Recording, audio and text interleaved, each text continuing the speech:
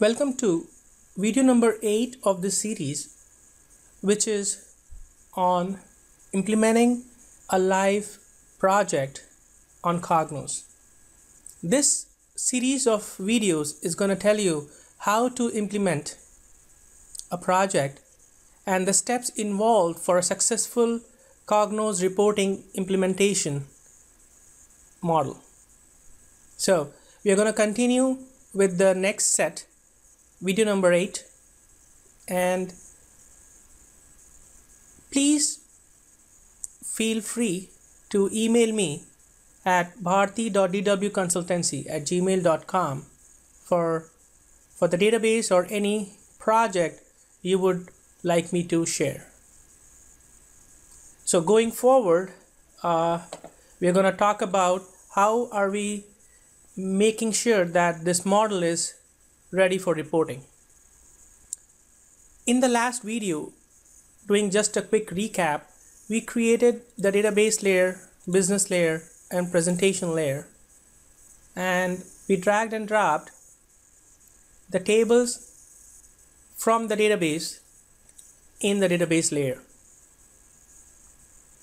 Next step is to identify the usage properties of every column of the tables imported. So click on properties and click on a column. The DT is date column and you can see that the usage the usage here in the properties of DT says identifier there are three options in Cognos identifier, facts, or attributes for usage you can set. So, identifier are those columns which can which can uniquely identify a row. It's not a primary key really, but it's like a code, date, or ID. So this is my way of dealing the project.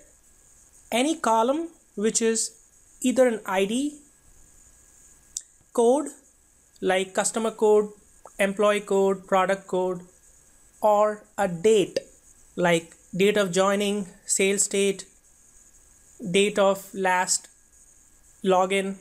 All these dates I would I would make them as an identifier. So identifier are like nouns which can be used to identify a, a particular set of data record. For example, uh, when I say noun in terms of grammar, English grammar, noun, uh, noun is the name of a person, place, animal, or a thing. So ID are gonna be unique for a particular person, like employee ID is gonna be unique for an employee in any organization. So from a business perspective, I would consider that as an identifier. This year column, YR is year. This is going to be an attribute to date. So an attribute is something which we can derive from an identifier. So if you have date, you can find out the year, quarter, months, quarter name and month name. So in this case, we are gonna make them as attributes. So year, quarter, quarter name, month and month name all would be attributes. I'm gonna select all. I'm using shift and gonna select everything. Go here in the usage section go to attribute make the quarter as attribute you can see there are two arrows just like Microsoft Excel. Drag this lower arrow not the top one but the bottom one all the way through and you can see everything becomes an attribute. It copies whatever you have set on the first line.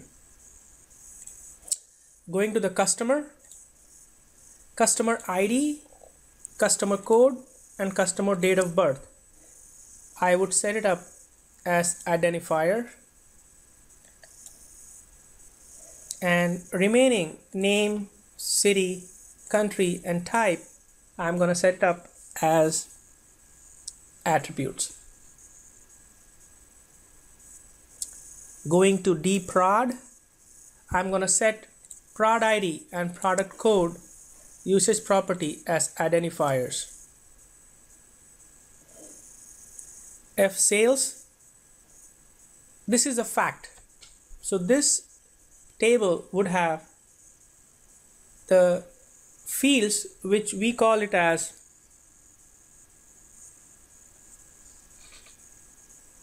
quantitative fields. Quantitative fields. It's like a field which is numeric in nature most likely numeric in nature and when you perform any arithmetic operation on it it's going to give you some meaningful information for example unit cost unit price quantity salary. Salary is a number. So if you want to calculate a salary monthly or quarterly you just add the numbers up. And everything else in the fact table which is not a fact I would set it up as identifier.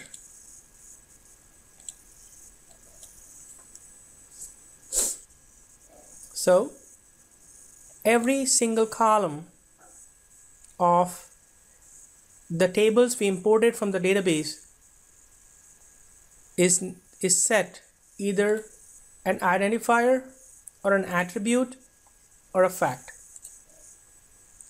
In the next video, we're going to talk about how we are going to create joins between the tables and make the data ready for reporting, the model ready for reporting. Keep watching the series, this series.